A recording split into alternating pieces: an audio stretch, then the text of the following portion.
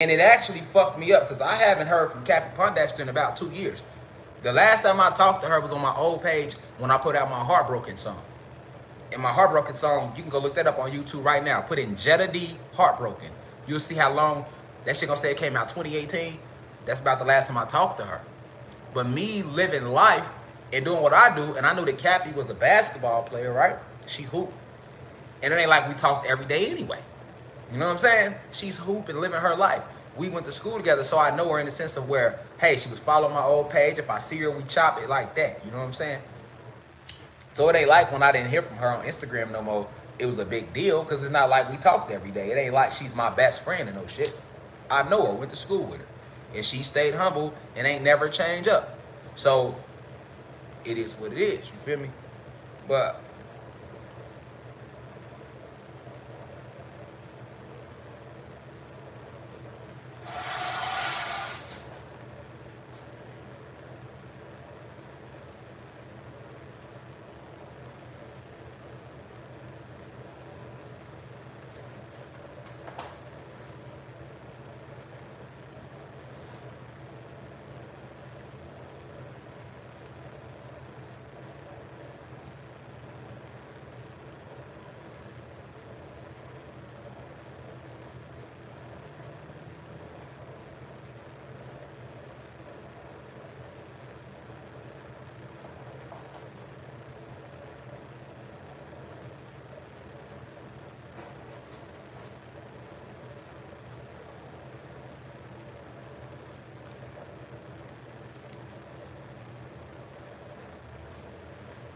that's perfect. Perfect.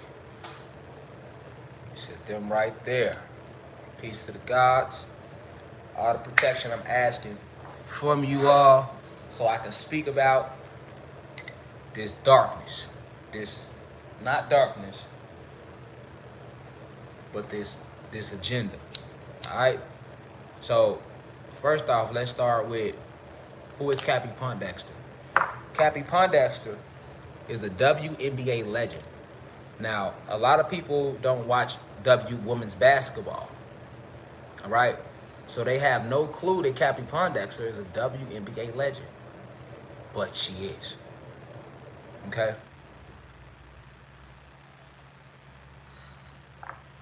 So, hold up. We gotta all get on the same page. Okay? We gotta all get on the same page. So,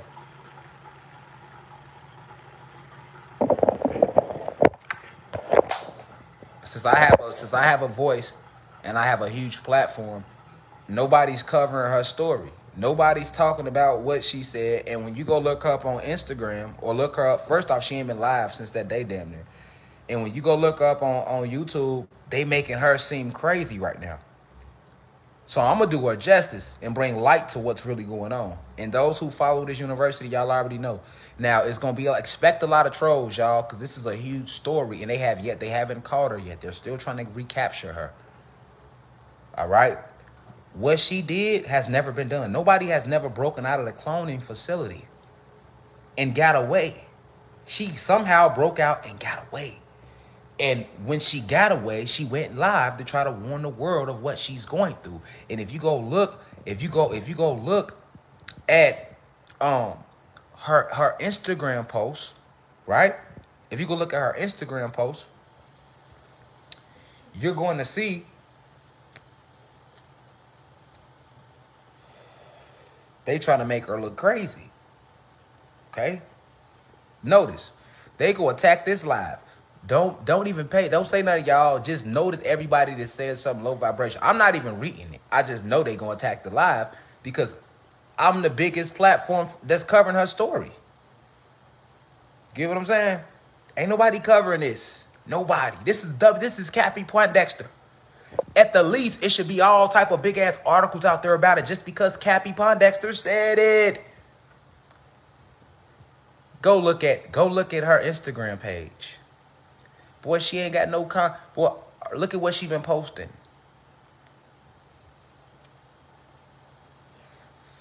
Boy, look at what she been posting, boy.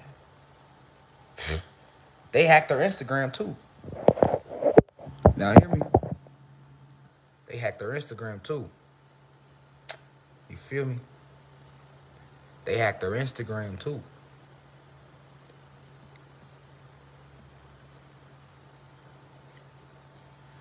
You know? Because you know they, they run your shit. When people become when people become big celebrities, they run they pages. This is how it works. Like that's why like a lot of y'all when y'all hit up blue people with blue checks, it, and y'all be like, damn, why they don't respond back like that? It's not really them. You know what I'm saying? It's really like after so long, it ain't just when you get a blue check, because you got people with 5K to get a blue check. You could buy articles and go get a blue check. You know what I'm saying? Listen, once you reach a certain level, y'all, then they run your page for you. You know what I'm saying? They they run your page, they control everything. So with her being as big as she was, they been had her IG page. And that's and that's them posting all the crazy shit on her wall. Posting all these pictures of Beyonce. You see what I'm saying? With these crazy statuses. So that when she did go live and say something, she's looking crazy to the world because everybody already got a closed eye. They don't even know that she, man, she, they don't even know what's going on, man. How, what just, what is going on and what that means, man. The elites don't let nobody get away. So if she got away, that means their system is breaking down. That's what that mean, nigga. Man, they had it structured so good, she would have never got away. You feel me? Cappie Pondexter would have never got away. So she escapes out the cloning lab, right? To reveal that they had her under, because I was trying to see if they cloned her. They didn't clone her. The Cappie Pondexter we seen the last two years on her Instagram wall posing as a model, that's her. But they did it like they did Dreezy. Remember I told y'all they got Dreezy on the MK Ultra. And right when I made the video, they made Dreezy put out a freestyle. They did that off me to try to throw off what I'm saying. And you ain't seen Dreezy put out shit since that freestyle this year. And before that freestyle, she hadn't put out shit in two years. I got a video called The Dreezy Effect. Go watch it. You feel me? You feel me? So I never thought they was on there with Cappie. To be honest with y'all, I actually kind of forgot about her though. I ain't gonna lie, like myself, like you know, it be out of sight, out of mind. So I ain't heard from Cappie. but I also know that celebrities, when you in the spotlight, sometimes you need to relax. Like that's a lot of energy of people knowing your name, saying your name, hitting you up. That's a lot of energy. So sometimes people got to step away from it and relax. Facts.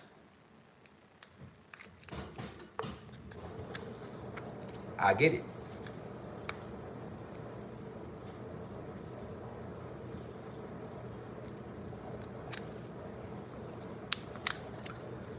I get it.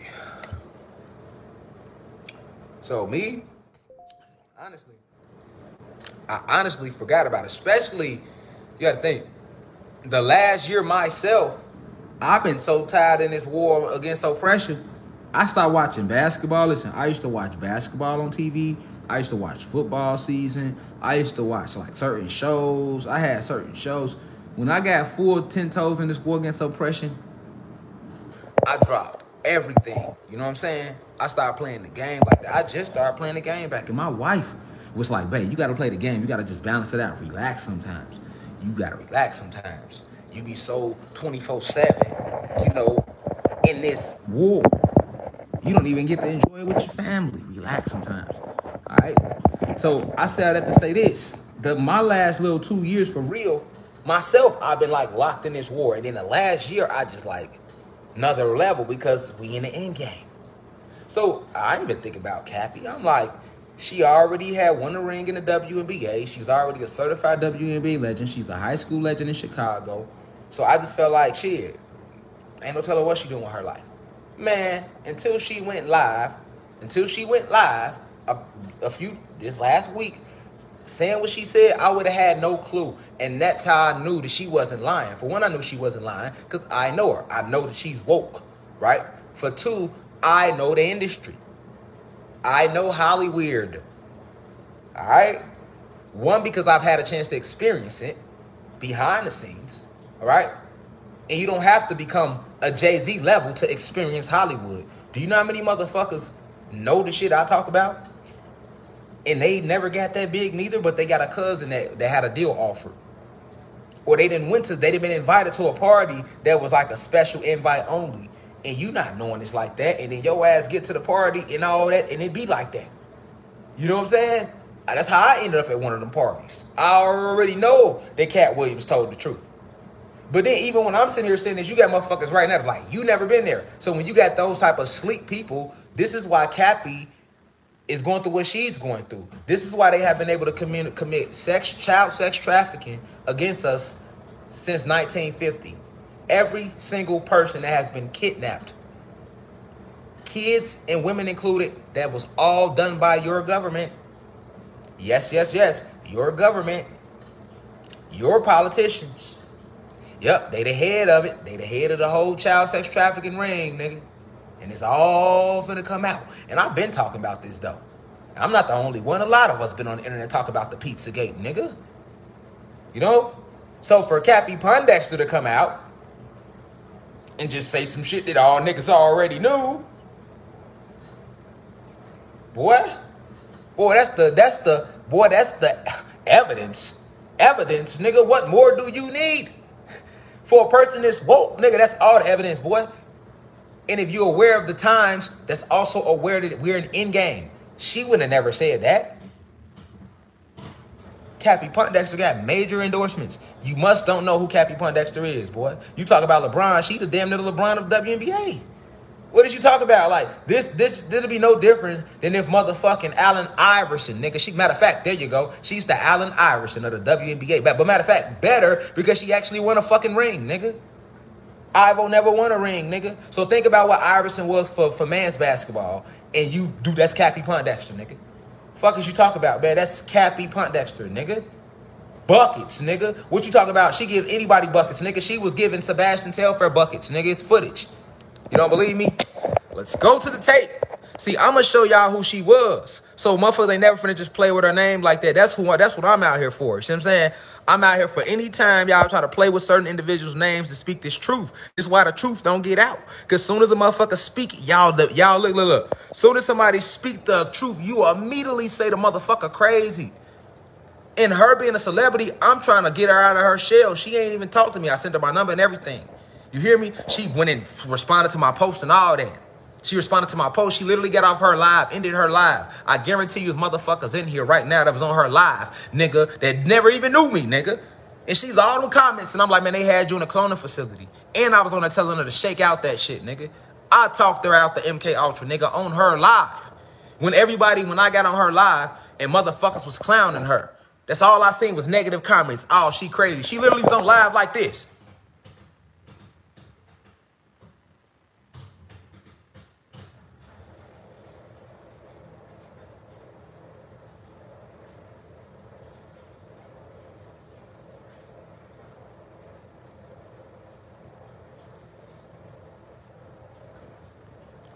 Nigga. She was stuck like that, nigga, for like three minutes, nigga. And everybody was talking shit.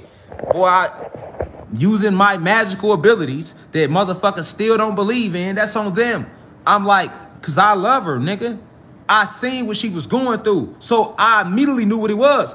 I'm like, when she stuck like that, I'm like, oh, they got on the MK Ultra. So the reason she had pause like that is because she's fighting the other entity that's inside of her body. Just like they showed y'all in Get Out. This is what Key and Peele was showing you in Get Out. And he couldn't just come out and say it. So they put a Key and Peele code, boy.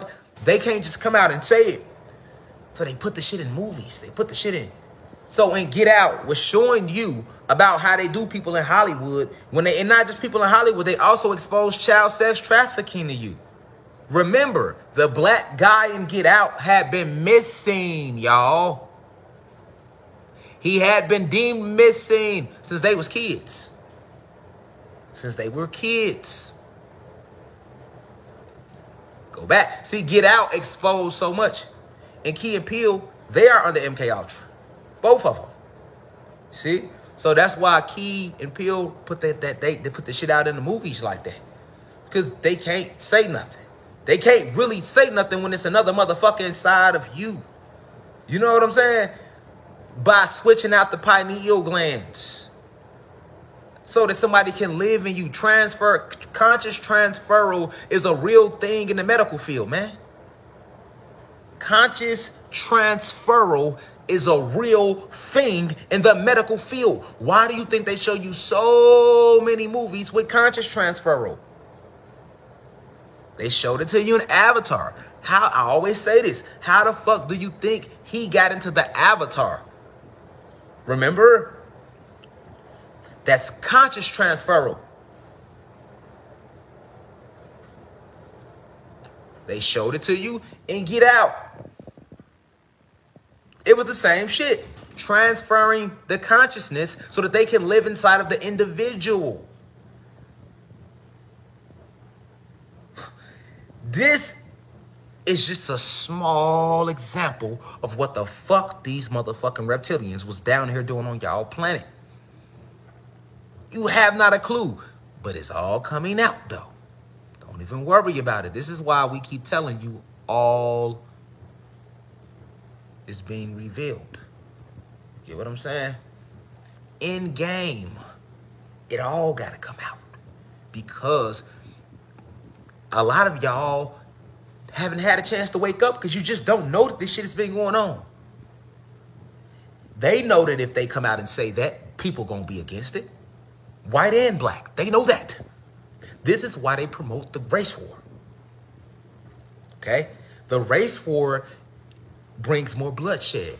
War in general brings more bloodshed. This is the whole reason why they send countries to war. Because your planet is ran by an extraterrestrial race that relies on your blood and your nutrients, your mitochondrial, as an actual food source. I gave a lecture on my website about mosquitoes. That's all part of it bed bugs, part of it. These are all different ways to get the blood out of us, along with taking it out of you in hospitals.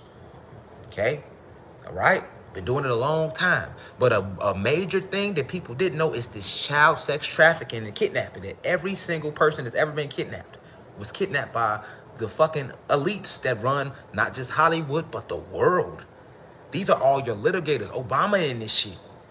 Hillary Clinton and was in a part of this shit. Bill Clinton, the Bushes, all your top fucking um, not just hot, not just rap music, nigga. All your top label execs, period. You hear me? And not just them. All your governors, all your mayors, all your senators. You cannot get a position of authority in no country if you're not a part of the elites. If you're not a part of that agenda. This is why in music, they you can be in music and get a lot of money, Jadakiss, but if you're not selling out, you're not finna go Jay-Z. Selling out is taking that blood oath transferal and agreeing to be a gatekeeper because you understand the depth of this thing and how deep it really goes. And they only show this to those that they deem they can really trust because they know we gods. That's why they require your soul, because you're a God. See what I'm saying? You're a Anunnaki God. So this is why they always require the soul, these reptilians do, of us to come into them, to really be a part of them. They need your soul. They can't they can't take your word. You a God. Nigga, you might be just trying to get in there and get close to them and shift on them ass and fuck and fuck them up from the inside out. The same way they did us. So they require your soul. This is why they need you. That's why they make them kill their moms and their dads and all that right? Now,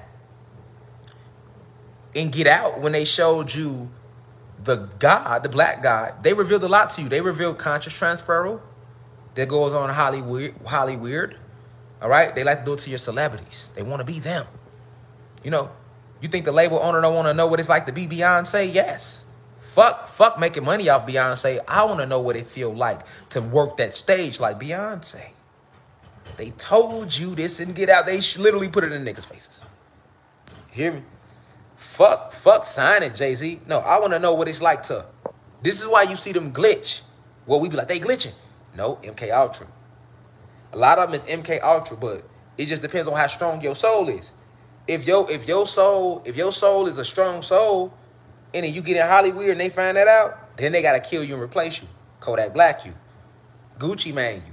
Because although Gucci might not have been well aware to the depths of this, the real Gucci, he stood for something.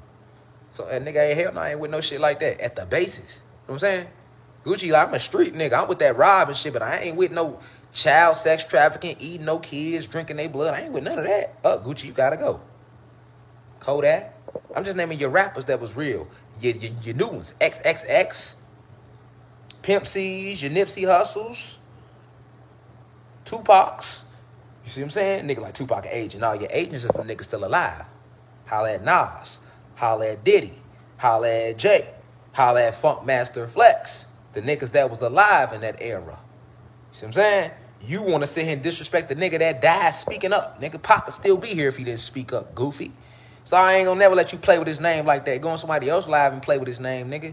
I know the real from the fake. You can't fake me out. I know the real from the fake. If anybody know the real from the fake, it's me. Nigga, if Pac was an agent, nigga, I ain't gonna hold him no spare him none, nigga. Pac wasn't even my favorite rapper. Jay-Z was, nigga. Fuck you talk about. Nigga, Jay-Z was my favorite rapper, nigga. Pac, I respected his message though, even as a kid. You know what I'm saying? But like, my favorite rapper was Jay, nigga. and if I could say that about Jay-Z, nigga, what makes you think? Jay-Z, Lil Wayne, boy, them was my niggas. You feel me? Come on, man. You talking about basketball, nigga. Vince Carter, nigga. You don't think I like LeBron, nigga? I had LeBron first pair of shoes, nigga. I was in high school when LeBron was in high school. LeBron older than me, but when LeBron was a senior, I was a sophomore, nigga. I watched LeBron when he came to the All-American game at the United Center when he had the all red shoes on, nigga. I was there, nigga. I was there, nigga. You know what I'm saying? Niggas be trying to play me, y'all, like I just ain't, ain't never enjoyed the lies of the Matrix 2. Nigga, come on, man. Y'all feel me, nigga? Yes, nigga. I, I enjoyed the lies of the Matrix, man. You feel me? I, I enjoyed that. That was all a part of entertainment. That's what entertainment is, to entertain your soul with lies, nigga. You see what I'm saying? You feel me? You know what I'm saying? Yeah, Nas, Nas definitely dropped a lot of knowledge. But guess what, though? Nas a sellout, though, nigga. You see what I'm saying? Nas a sellout. You feel me? Nas a sellout, though, nigga. Nas dropped that message in the music, but he ain't gonna dare say that shit no interview the way Pac was saying. That's why Nas is still here, nigga, and Pac ain't, man. Stop playing with him, man. Knock it off, man. I'm acting like y'all don't know how Pac was talking in the in the interviews, man. Y'all kill me, man. the only nigga that's gone for kid, for talking real shit in interviews, y'all talking about he the agent. But all these puss ass niggas that was alive when he was alive, nigga, them niggas still here, nigga. What is you talking about, nigga? Being silent, right? Nas around this bitch promoting Hennessy, nigga. Nas around this bitch getting fucked in the ass, Diddy nailing them every night, faithfully. What is you talking about? Yeah, Nas an extreme lyricist. Yeah, Nas got a message, but he folded though. He